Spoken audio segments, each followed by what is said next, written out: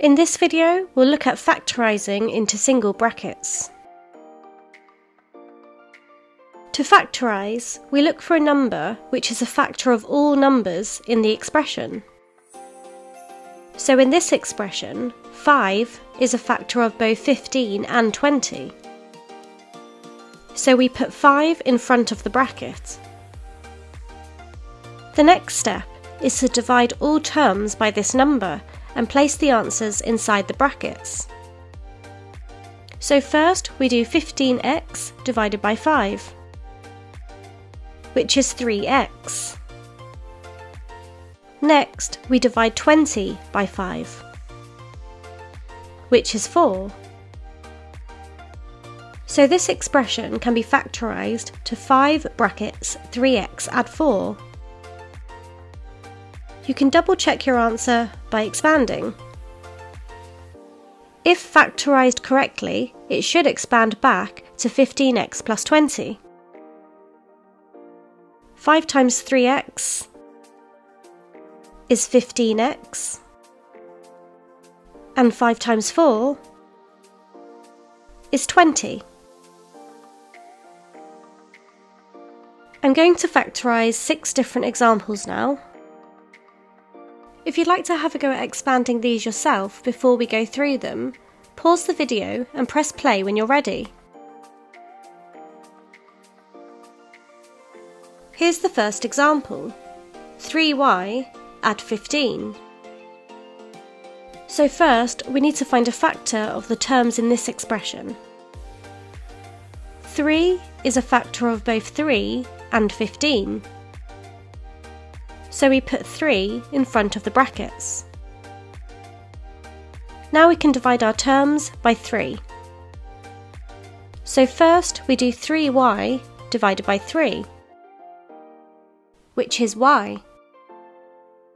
Next we divide 15 by 3, which is 5. So this expression can be factorised to 3 brackets y plus 5. Here's the next example. 4w take away 6. So first, we need to find a factor of the terms in this expression. 2 is a factor of both 4 and 6. So we put 2 in front of the brackets. Now we can divide our terms by 2. So first, we do 4w divided by 2 which is 2w. Next, we divide minus 6 by 2, which is minus 3. So this expression can be factorised to 2 brackets 2w take away 3. Here's another example. 8m plus 16 so first, we need to find a factor of the terms in this expression. 8 is a factor of both 8 and 16. So we put 8 in front of the brackets. Now we can divide our terms by 8. So first, we do 8m divided by 8, which gives us m. Next, we do 16 divided by 8, which is 2. So this expression can be factorised to 8 brackets m plus 2. Here's the next example, 20b plus 30. So first, we need to find a factor of the terms in this expression.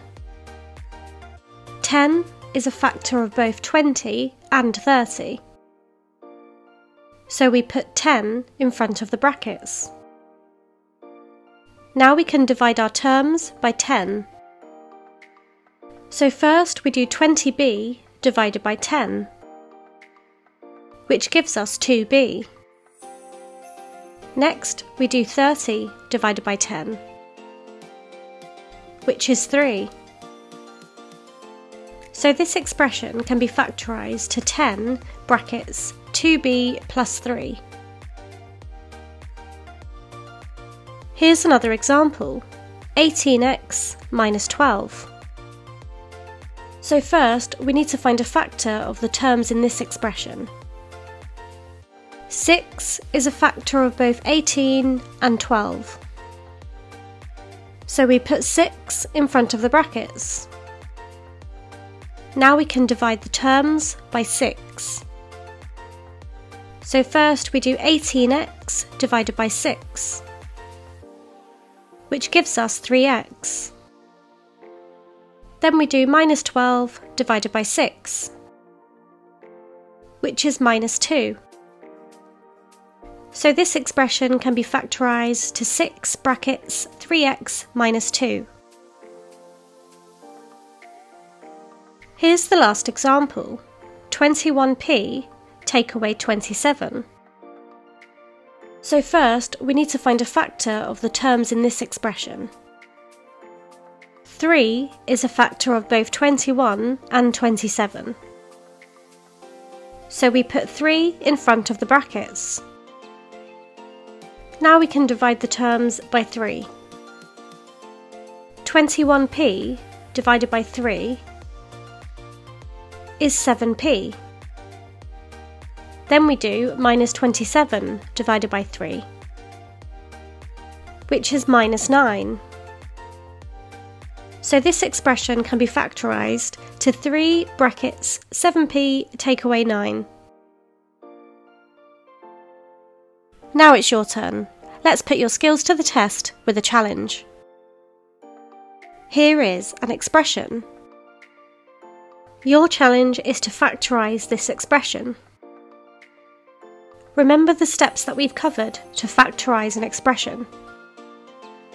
Let me know your answer in the comment section.